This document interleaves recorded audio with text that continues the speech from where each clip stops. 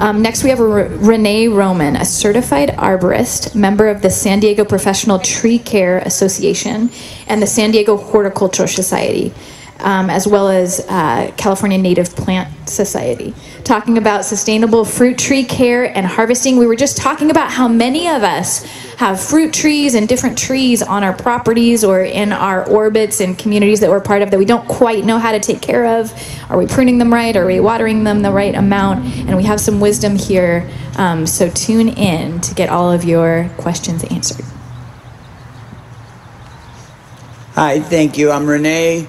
With the Tree Fairy. Little history about me and my career. I've been in uh, tree care industry since the 1980s. I started out in logging and uh, timber and then moved into tree power line clearance and then into residential tree care.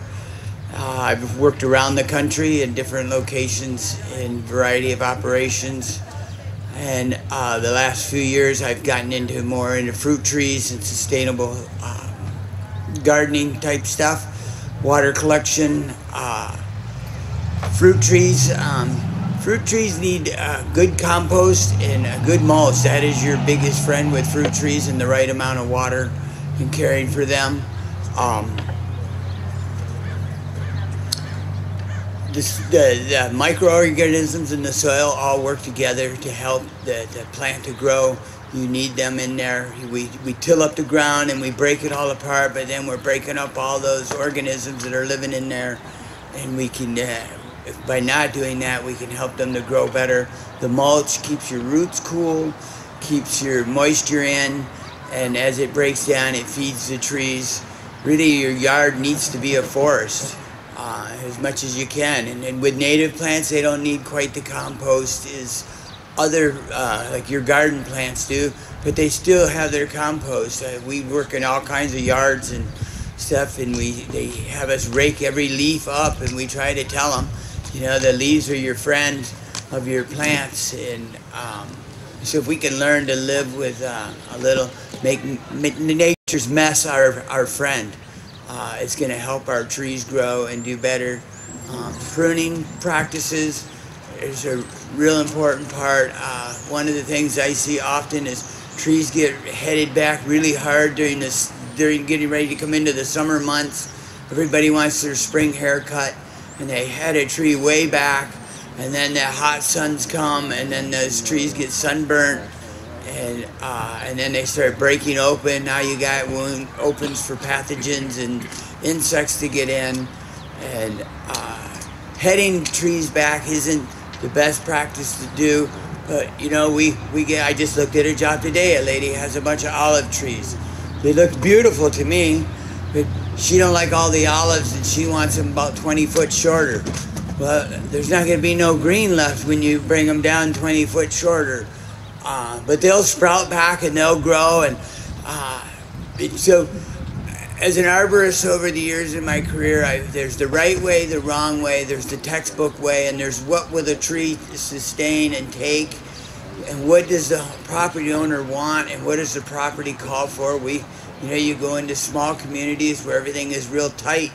You got to keep a tree confined and small, but there's a proper ways that you can do that without stripping it and uh, and doing it at the worst time of it could be done.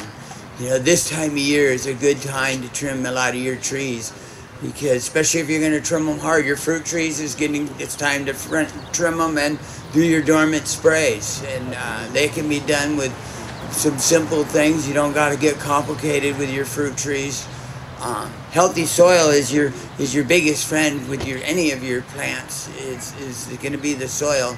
Uh, that gets so overlooked.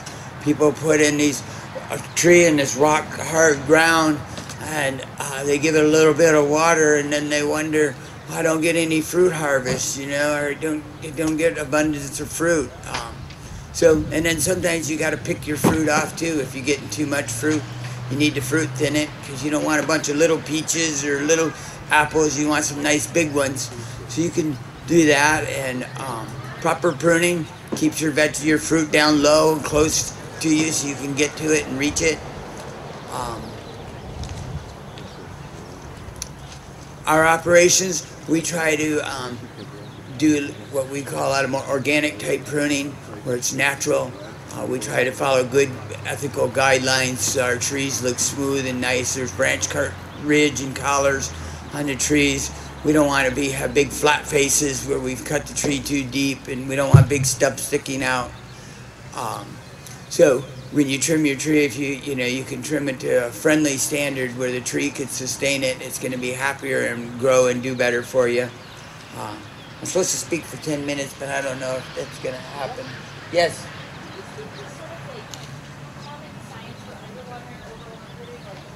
Yeah, yeah. If you yep, if your trees are drying out, you know, sometimes overwatering and underwatering can look a little the same.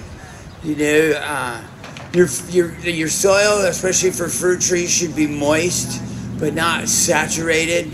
Uh, if you live in an area with clay, then you want to, you know, the more organic matter you add to your soil, it'll help break that clay up. Um, so test your soil, test your plant, find out what your plant needs. Uh, and, and then if you use, uh, they have a, a sustainable water, uh, water wise system. Uh, we've been learning about that, going to some classes on it. You know, and I know the ring irrigation is better, drip line. You got to make sure they don't plug up with minerals and stuff, but you can move that drip line out. I see a lot of people watering right at the base of a tree, and really the water needs to be out where the root zone is. And you don't want a bunch of wetness going on around the trunk of your tree because you'll get decomposing and rotting and uh, pathogens entering the tree that way. French drains. Well, French drains help move the water away from your properties, you know, and um, I guess if you need to move the water from one place to the next, but if you can recapture the water into your property and use that to uh, help it, uh, you know, that's what I. What got me going on everything is when I heard them saying the supply chain that we needed, we didn't have enough chemicals to grow our crops and and I guess you kind of always knew that, but when when I heard them say that, I said, "Oh my God, what are we doing? Whoa, wait a minute!" Because I I deal with I dump my mulch at fruit groves and people's property ranches and stuff because they're going to use all that stuff back into the property. Why are we not growing? And um, and I remember as a child, farms were family farms, and then as I got older I seen the farms dissipate into corporate farms.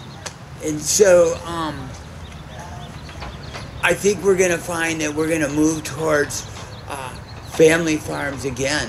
And uh, I don't know if that answers the question. I went off on a tangent. Yes, sir.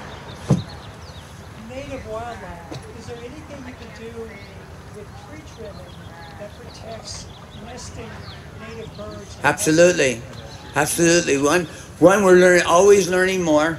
Uh, as, a, as an arborist, um, I feel like I'm as much the student uh, as anything. Uh, I mean, I have some things I can share and teach, but you know, when we're out there working, um, you know, we want to be real sensitive, especially in the spring when we know we got a lot of nesting birds going on. We had to work in an oak tree just the other day, and it had an owl box, and the lady was sure nobody lived in the owl box, and it was a dead tree, and they were going to go up and cut part of it back. And as the climber was working his way up there, though, an owl come out of the owl box, you know, and then we retreated.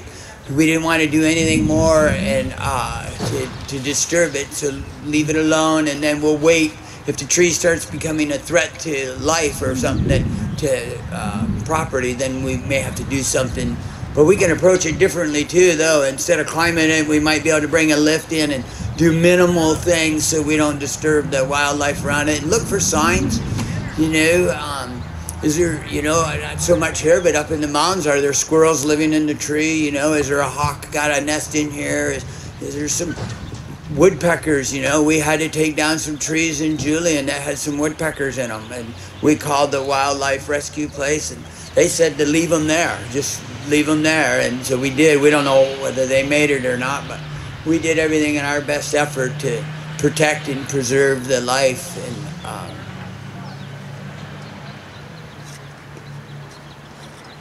yes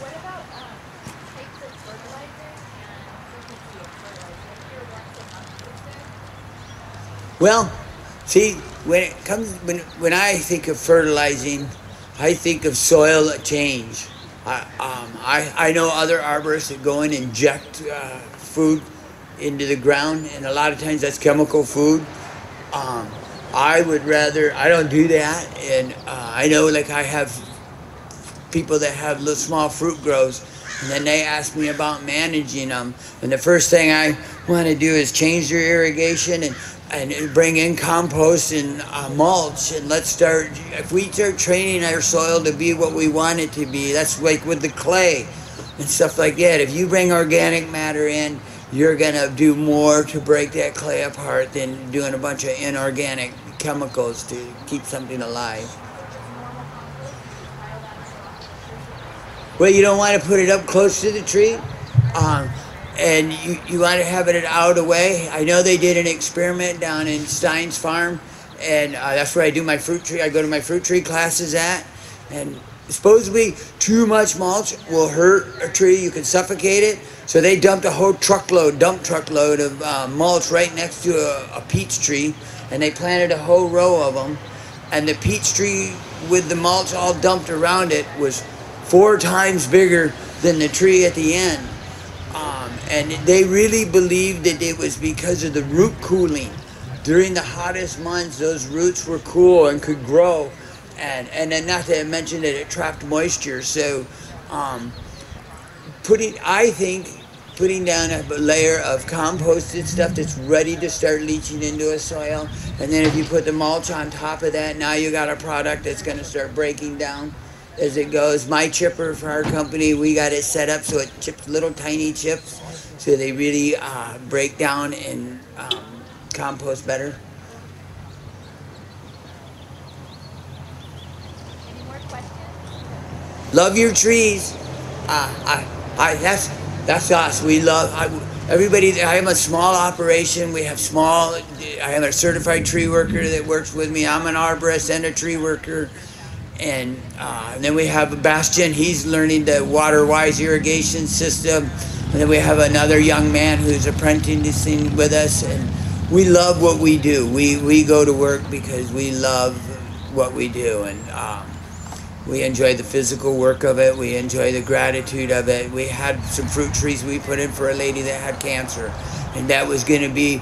Um, part of her treatment was when she come home and going through her stuff she was going to be looking out at her yard and you know being a part of making her yard beautiful for her you know and we followed up with her to make sure when she you know that her yard was looking good and she was happy and um, so hire people that care hire people that are insured uh, you know, that carry workman's comp, that provide for their workers. Our workers get paid well too, and anybody that works for me. If if I had to pay you cheap, I don't want you.